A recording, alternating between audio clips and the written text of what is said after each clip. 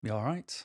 My name's Paul. I've got autism and I make random videos based on my version of autism, the way my head works, and I stick the videos on the internet in case you fancy giving them a watch. That's it, nice and simple. Right.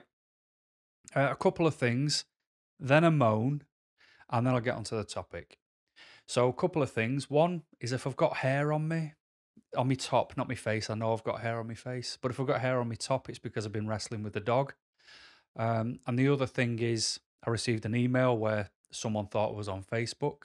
Um, so I'm not sure if it was mistaken identity, but I am not on Facebook. So if you are on it and you think you found me, please report um, that profile because it is not me, I promise. Okay. Um, and I'd appreciate that. There we go. Right. Moan time. I've, you know, you know, I love a moan but I've I've been about this week, staying in all sorts of places, and it's just been a weird run. And I just want to sort of um, talk about it because I don't speak to humans, so it's uh, you know when you've just got all this stuff going on in your head, sometimes it's just nice to let it out. So I'd left my house on Monday, and I drove over to Liverpool, which is about an hour and a half, two hours on on a bad day. Um, did the work there. Then I drove from there over to uh, Durham city centre, which is quite a drive. Um, did a stay over in the Premier Inn, and it was a bad room. I I'm the unlucky traveller. All right, so I stayed in stayed in this room. It was right next door to the main entrance in a city centre, so that was nice and quiet. Not. Uh, the bed was broke, so it was really loud, and every time you got on it, it just disappeared towards the bathroom. So you know, that wasn't fun unless you needed the bathroom, and then it was a shorter trip. And uh, the towel in the bathroom had red dots on it. I was like, "Is this blood?" Um, so that didn't even get touched. Um, I did complain about that. Um, and then in the evening, when I was having my evening meal, there was this family sort of sat a few tables away from me, like a grandmother, a mother, the father, and a couple of kids. And one of the kids was about four and she was holding a drink like a pint glass with one hand somehow and the mum was like use two hands use two hands and the kid wouldn't use two hands. So the mum took the drink off her and put it on the table and the kid swore at the mother. Like and i mean it was a bad swear.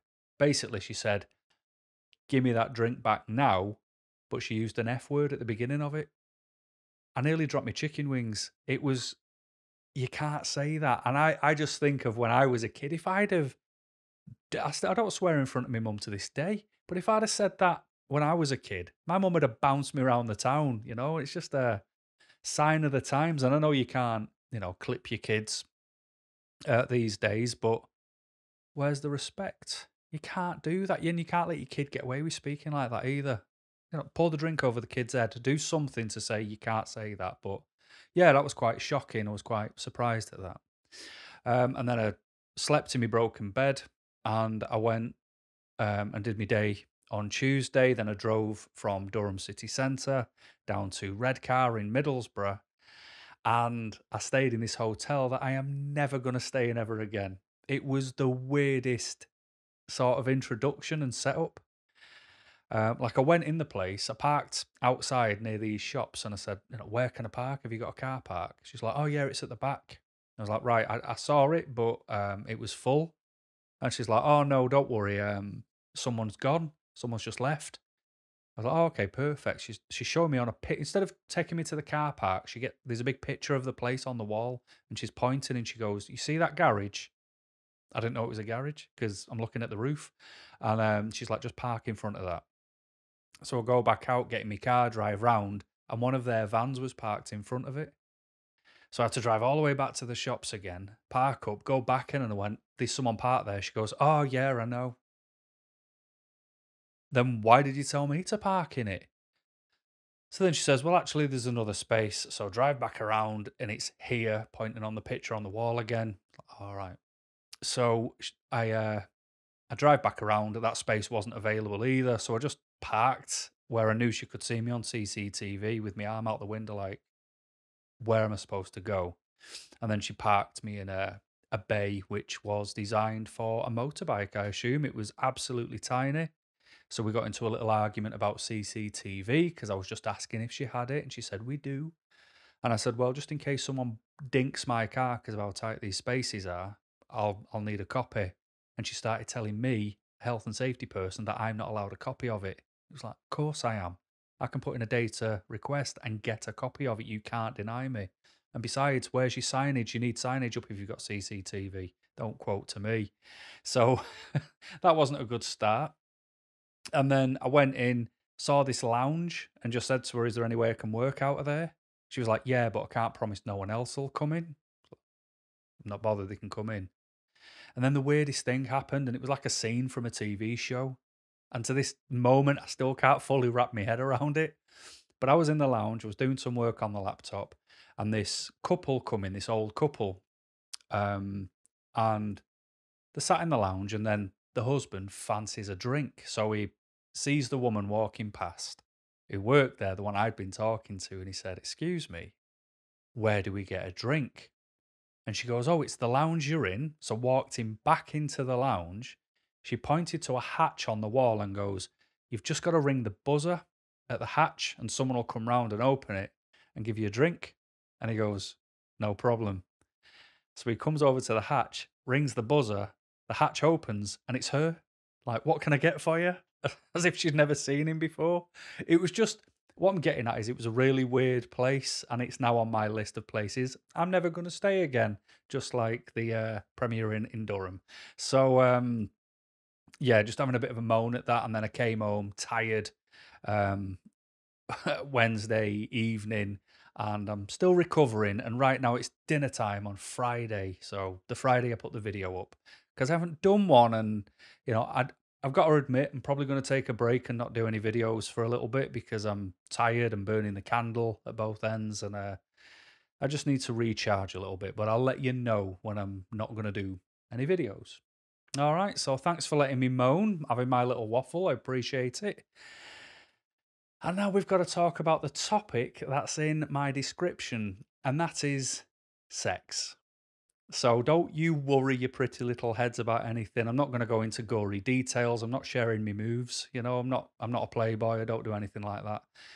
But I have referenced it before, and I've referenced intercourse before, fornication, and all that jazz, saying I'm just not bothered about it.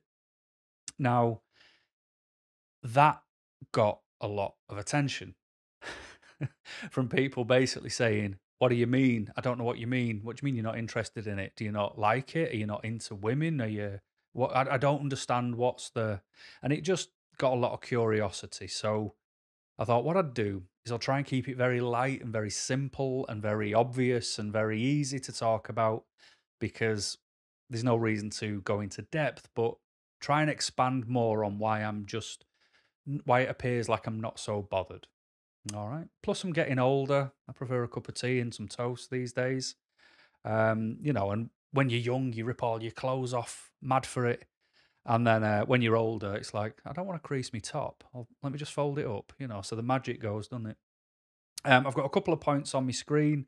I'm not sure if I'll use them much, but I just think it'd be interesting to talk about from my autistic perspective. Um, so, what I've got down on my little list is to talk about that I'm not driven by lust.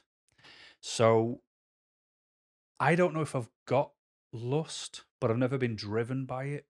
You know, I can find people extremely attractive, but I've never had that urge that I just can't. Like George, for example, my dog, at the minute, he is a dog on heat. He is after any female dog knocking about. And even if I've like got a bit of sweat on me, he licks the sweat and starts doing that flehmen response where his jaw chatters and he drools everywhere. It's like, mate, me and you are never gonna, it's never happening.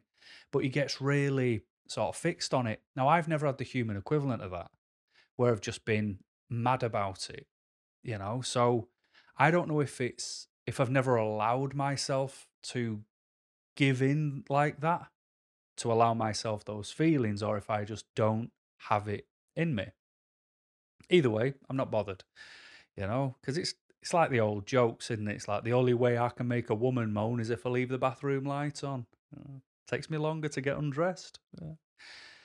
Um, This is why I don't do comedy anymore. Um, but if I start picking things apart, I think it's because there is that divide of neurotypical people and autistic people, especially people who fall into my autistic category. Because what you'll find is what people will tell you, there's usually another response, a response that we've got, a response that makes more sense to us. So when people say things like, just go with the flow, you know, like when something's going to happen, it's, oh, just go with the flow. No. I'm not just going to go with the flow. You know, it's because to me, you've got go with the flow, and then you've got the autistic part, which is obviousness. Now, if you're in a relationship and you, oh, I'm just going to play the relationship cards. I don't endorse one night stands and um, children born uh, who end up in the care system just because people decide to strip off and bump uglies. You know, I, I want to make sure, you know, when kids come in the world, it's for the right reason. But, uh, you know, when you're in a relationship, for example, and you've not, you know, smooshed booties together, um, there comes a time when it's probably going to happen. You know, you've spent time together, you've dated, you're staying at each other's properties and all that jazz. You're having a kiss and a cuddle. But then people are like, oh, you know, if it happens, it happens. It's like, no, because you both know it's not a surprise. You're going to be somewhere comfortable. The curtains are going to be shut. No one else is going to be around. You know, there's quite a few signs that this is happening. You might have, you know, Barry White playing on your CD player. You might, you know, have some candles out. The signs will be there. It's not like you, you know, down the cheese aisle in Costco and someone jumps your bones. That would be like, oh, where did you come from? I wasn't expecting that. So when people say go with the flow, there's an obviousness to it as well. So for me, I I struggle in that department because it's like, well, this is obvious. It's blatantly going to happen today. You know, why can't we just talk about it? why do we have to pretend that we're in a TV soap and these things just happen? It never just happens in any state, you know, unless somebody's, you know, been unfortunately uh, inebriated past the point of uh, consciousness. But it's obvious. And that's where I struggle. It's like, what do you mean go with the flow? You know, surely if we chat about it, it might just help. I don't know. Um, so I I struggle with that. Okay. Um, and you know what it should mean to people that can have different interpretations too. So I I have lots of things that I cannot do because of the way I am. You know, so I suppose it's a bit like sensory overload. Um, so you know, like I say, some people have different interpretations. So they, some people, as you know, will still not. Well, they will consummate the marriage. They will do it when they're married. Some people do it because they bought them a bag of chips. You know, uh, there was a girl in my school, not kidding, would give you uh, a trouser kiss if you bought her a two pack poster. That's the truth. And people would be going to the local market, buying a poster, a two pack for 50p, getting to school, giving it to her, and she would, you know, do a thing. So there's just a different range of why people do what they do. You know, so for me, I need to know the person. I need to like the person. I need to get used to the person for me to be able to feel comfortable to do it. You know, I can't just, you know, especially now I'm getting older, you know, you can't just go out to a nightclub and pull some you know, random piece of sexiness that's out there and end up back at her place, my place, and then start going at it like the clappers. I don't know them. You know, I don't. Have you got a middle name? What's your star sign? You know, how old are you? I don't know anything about that person, so it's difficult because if I, I don't do anything in life where there's unknowns to it. You know, everything has to be planned, considered. I have to have a strategy for it, a process for it. So when it comes to that, what makes you think I'm going to be any different? I'm not. I'm going to be exactly the same. I still need process. Things need to make sense. I need to feel comfortable in my surroundings. And like I say, when things are unfamiliar, I don't know where you know, Is is someone going to kick that door in and just come charging through in a minute and say that's my girlfriend? I need to know these things. You know, so different interpretations for different people. For me, obviously, has to mean more because there needs to be a level of comfortability to it. Relaxation has to be there. I need to be able to close my eyes and switch off a little, you know, to be able to be where I am. Otherwise, I'm too worked up, and it's why would you do anything if it's never enjoyable? You know, the event can't be enjoyable if I'm not able to enjoy it. So, you know, that's that's one of my barriers. I I need to know that person. Um, but I'll come back to that because I want to talk about sensory overload. Um, I've got down here clear direction versus mood killer. And what I mean by that is it's almost a bit like the go with the flow. People like to pretend that it's a surprise when people are going to have sex. It's not. It is absolutely not. And for me, I like to, because I'm, I've already talked about comfortability, I like to know who the person is. Chances are I'm dating that person. So you have a lot of open conversations when you're with that person, and it's a case of, right, what do you like? What do you not like? Where's my no go zone? Where's, you know, what? And, and that way, you know, it for me, it gives me sort of a, a boundary. It gives me a, a yes and a no. It allows me to, you know, find my flow, if that makes sense. So I can go with the flow and stay within those controlled boundaries. Like again, I do in life. I have boundaries of things I can and cannot do. I like to know for that as well because if I know for that, you know, th- th- there's nothing worse than when you're at home and then someone just shows up at your back door when you were expecting them. You know what I mean? So imagine if you're in the throes of passion and someone just comes knocking at the back door, you'd be like, no, go around the front. You know, that this door's locked, mate. We don't open it. Um, so I just where so I like to know what people like you know, not like dialing in a radio and they're like, get off, I'm not into that. All right, then, but I would have preferred to have known before I start messing about because that knocks me confidence. Because I'm an anxious wreck as a human being anyway, that is an anxiety ridden event. Especially when it's the first time, first couple of times, you're like, oh, you know, I need to get used to this before I can find me flow. So if I can, you know, if, if I can be a mood killer by having my clear direction, my clear direction makes it a better mood when it actually does happen.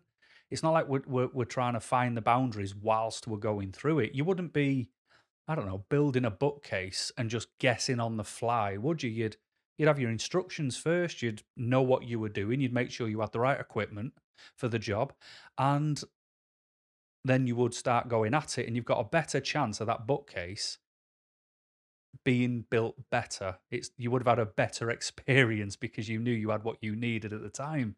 I just think to me it makes more sense. So it's not a mood killer to have clear direction. I, I know there's going to be people out there going, glad, I'm glad I'm not in a relationship with him. Um, but it is good to rule things in and out.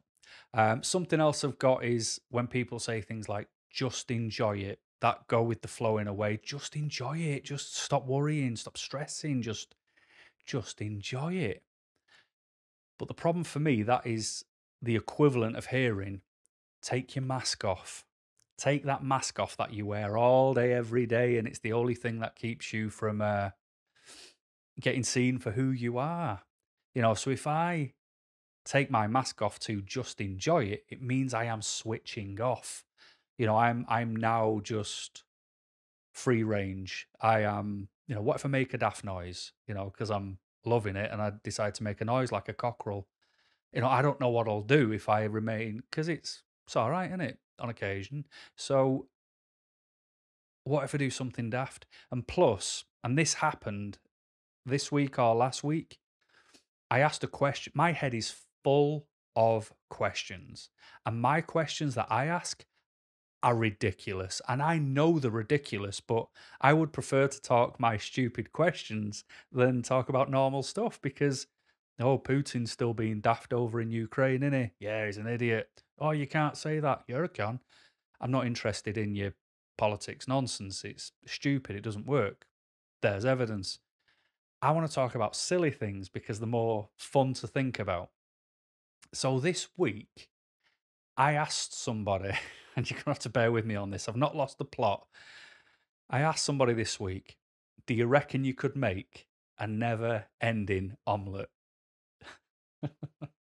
and what I was saying to them was, I said, right, just imagine it. I said, you you've poured, let's say you've got a big vat of mixed egg, and you're just pouring it into your frying pan, and it starts to make, it starts to form, and just as it's still a bit wet and starting to form, you're starting to shuffle it. You tilt your pan and just get it sort of filtering out of your pan a bit, and then you pour more egg in, and then it sort of would be a continual process of this, you know, the liquid egg hardening, becoming solid, coming out of the pan while you're pouring more in, and you end up with this massive egg, a bit like a an omelette blanket. Now, imagine if I switched off and I asked that question, and then they pop back up and they're like, "What? What sort of question's that? You're meant to be in the moment." It's like, "Oh no, no, no! I am in the moment, but that's what happens to me when I'm in the moment. My head."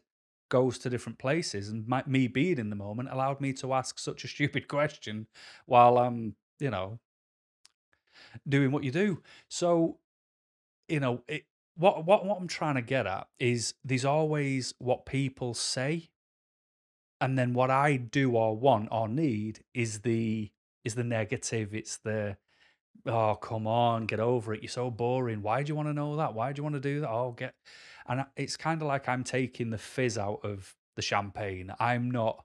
I, I'm the. I'm what's. I'm taking what's the. I'm taking the fun away, and we're just left with the the bare basics. But that's not true. I need clear, concise boundaries, and I need to know what's a yay, what's a nay, and the more I feel comfortable with that, the easier it can be. You know, so and so just to bring it back to the sort of sensory part again, you know, the reason sensory overload matters to me is because I do not like being touched. I'm not really bothered who it is. If I'm not feeling it on the day, and it all depends on your temperature. You know, so if it's a hot day and I'm hot, don't come near me. If it's a hot day but I feel all right and you're hot, don't come near me. Same applies for cold days. If I'm cold and you're cold, don't touch me. I don't want to get colder. You know, if, uh, if the only time I'll touch you is if I'm absolutely freezing and you've got the warmth. You know, just the reverse. If it's an absolutely hot day and you feel like a freezer, give us a hug. But you know, I don't hug people. I've hugged two people all year. One of them was my mum once. So I'm not a touchy feely person. So for me to then, you know, strip off with someone else who was stripped off to then get that close to the breath, feel the skin, you know, against my skin. It's a very overwhelming sensory experience. So I have to be relaxed enough to allow that to not get overwhelming. And then it's a case of I need it to be, you know, I need to take me time here because it's I've got to process it. So it's not a case of, like I say, you know, casting eyes with a stranger across a busy bar, jumping in the back alley, having a, you know, bit of a fumble, and then going back in like nothing happened. No, I'm not your guy for that, you know? So what I'm trying to get at is having sex, the whole process is no different than how I am as a human being, of how I operate anyway. I still need boundaries. I still don't want you close to me unless, you know, I get used to you, know you, understand you, because then my process is all right, because that's where I can start to relax, because I've evaluated you. I understand who you are, how you operate, you as a human being. You're not a stranger to me anymore. I don't like the unknown. You would be the unknown in that sort of situation. So, everything I suppose I'm saying is what would be deemed as boring for everybody else. I need. And if I get that, you'll get more of what you're after. If you're after, uh, you know, getting jiggy with it and all that. So I wanted to talk about it, but I wanted to talk about it in a, in a light way, and I think I've done that. Um, I hope you understand where I'm coming from because I'm not sure when I've just spoken there that I've actually made a point at all. But what I've found is I end up making more of a point when I don't think I have than when I think I have done from your comments. So, what I will say is thanks for watching. And until next time, keep smiling.